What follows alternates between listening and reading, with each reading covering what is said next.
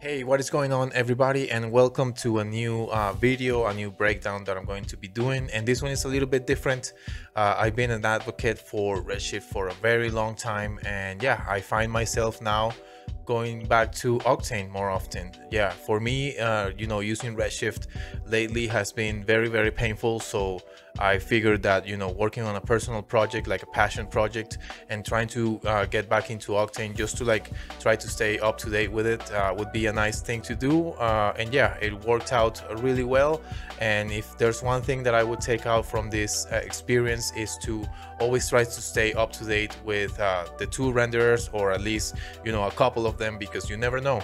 You never know when one of them is gonna go downhill like uh, unfortunately you know Redshift has in the past few months so yeah this uh, video that you're gonna see here this breakdown is going to be on Octane Render and Cinema 4D and this uh, is going to be a two-part video. The first part is going to be more about the modeling and the you know initial uh, sections of the of the whole process.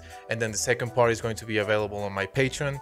And yeah i think uh, you know without much further ado i hope you enjoy the video and i really hope to see you on my patreon for the second part. So yeah enjoy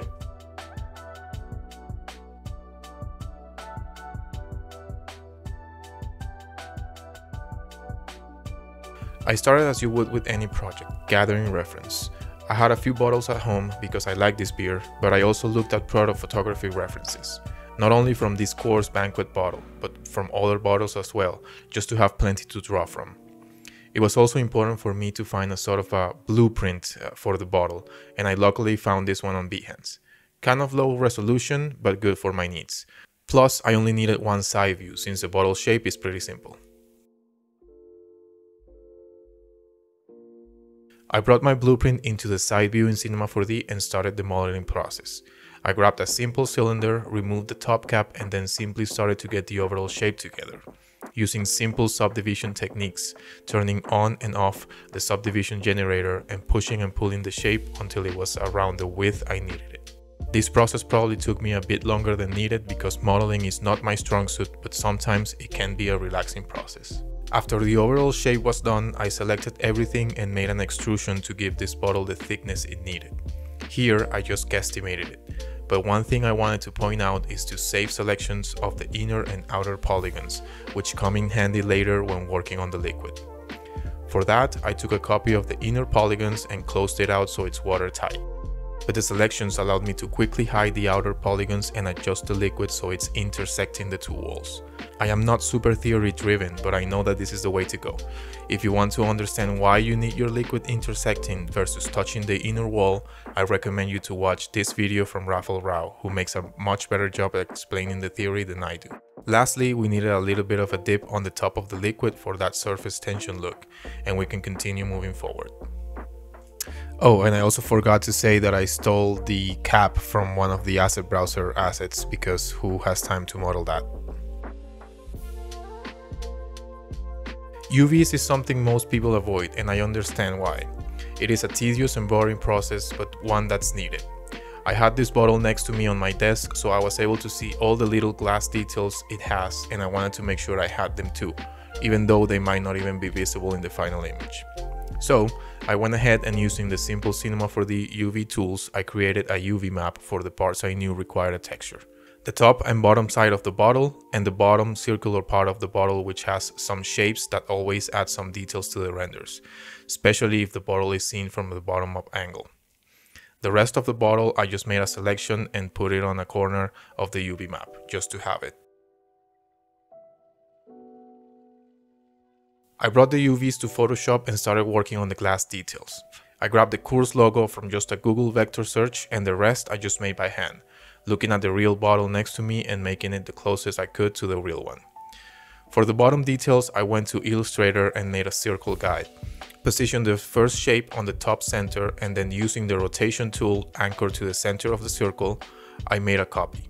I then used the command Ctrl D to repeat the last action and as you can see, it creates the whole shape for me. Brought that back into Photoshop and since I knew I had three levels of displacement, I gave each a full red, green and blue value. This allows me to save the PSD and split the displacements in Octane later without having to save three different files. And I'm gonna show you how that works in a minute. Back in Cinema 4D, I checked the textures roughly in the viewport and they are working. It looks like the bottom side of the details were a little bit too big, so I went back to Photoshop and adjusted that. And that's it. This bottle is now ready for some Octane materials. I started with a clear glass material and here's where I split the RGB image for the displacement. I couldn't find a displacement blender node like the one in Redshift, so this is what I used. I run the texture through a channel picker node to select the proper channel and then through an octane gradient to control the level of displacement. Less white means less displacement here. Then that goes into a composite texture node where each node is set to the add blending mode. The downside is that for the octane displacement node to read all of this, we need to run it through a bake texture node, which kind of slows things down a bit, especially when using the solo node action. I found that disconnecting the displacement helped a lot with speed, and maybe there's a better way to do this, but this was my solution. This setup allows me to control how much displacement I have from each part of the texture. Besides the texture-based displacement that does not require subdividing the model heavily, like the vertex point displacement in Redshift, there's this other awesome feature in the displacement node in Octane called the filter radius, which basically blurs your displacement at render time, giving you soft transitions. This is great because again I have control over this in the render and I don't have to bake the blur on the texture. After that, it was a lot of trial and error to try to get the glass to look somewhat accurate.